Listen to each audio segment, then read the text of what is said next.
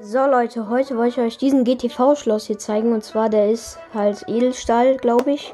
Oder nicht, keine Ahnung, weiß nicht ganz genau. Auf jeden Fall sieht er so aus. Hier steht auch schon die Länge und zwar 31 mal 45. Ja, hier sieht er so aus von, ähm, von vorne. Also wenn der Schloss drinne ist. So sieht er dann aus.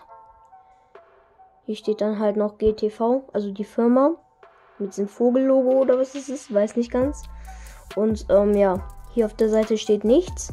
Hier sind dann halt noch äh, diese Pins. So sehen die aus. Und ähm, ja. So eine äh, Form für den Schlüssel. Also die sieht so aus. Ist etwas anderes als bei den anderen Schlössern, die ich äh, gezeigt habe. Also die ist etwas anders. Und ähm, ja, also die gab es, glaube ich, beim Flohmarkt. Ich bin mir nicht ganz sicher, wo ich das, wo, die, wo ich den Schloss gekauft habe. Aber ähm, ja, so sieht er auf jeden Fall aus. Das sind die Schlüssel. Hier waren eigentlich, glaube ich, drei Schlüssel drin, aber der andere liegt irgendwo anders. Weiß auch gerade nicht genau, wo der ist, genau. Und ähm, ja, so sieht der Schlüssel aus. Also beide sehen genau gleich aus. Hier noch so ein Ring dazu. Der andere ist auf dem Ring, der andere nicht. Und ähm, ja, die Schlüssel haben auch so eine Form. So sehen die Schlüssel aus.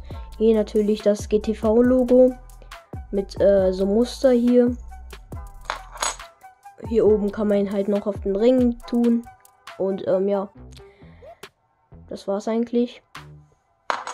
Und die Schraube sieht eigentlich nur, also ist eigentlich ganz normal. Also das ist auch nicht die originale Schraube, die vom Schloss ist, sondern das ist einfach so eine Imbusschraube, die ich genommen habe. Ähm, ich glaube, die habe ich bei Bauhaus gekauft und ähm, ja, hat keine Spitze, wie man sehen kann.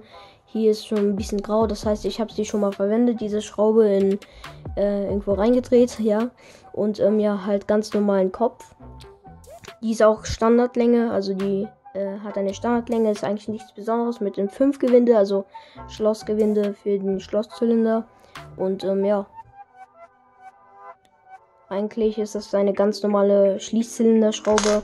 Ja, das war's mit dem Video. Like das Video und abonniert den Kanal. Ähm, ja, ciao.